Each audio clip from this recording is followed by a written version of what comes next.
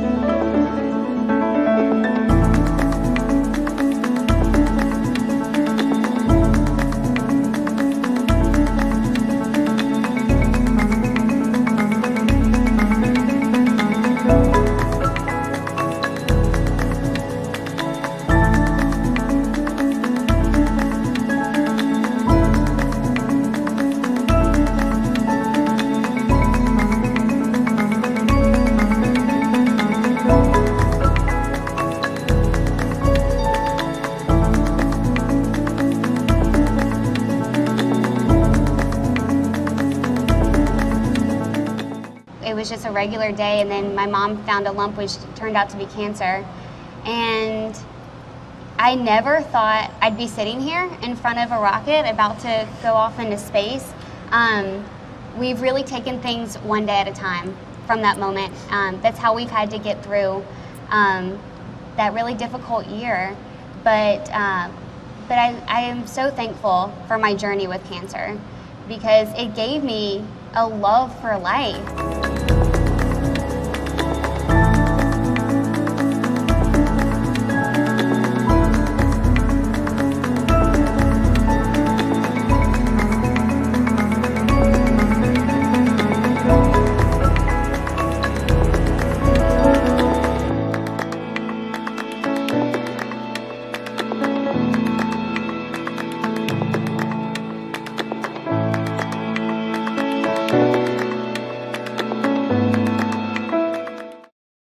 I think I've been just thinking about how lucky I am to be a part of this crew, to be a part of this mission.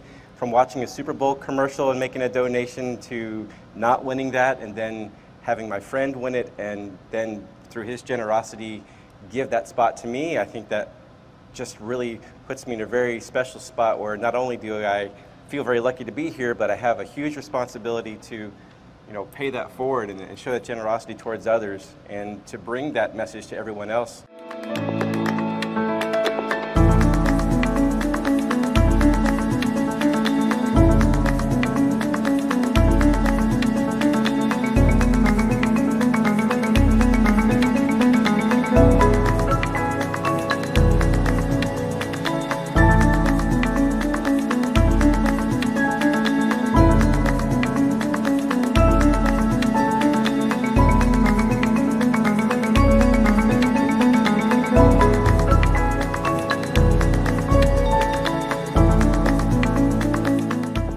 Am the mission pilot, and it's really special for me to hold that title uh, because I'm going to be the first black female pilot of a spacecraft.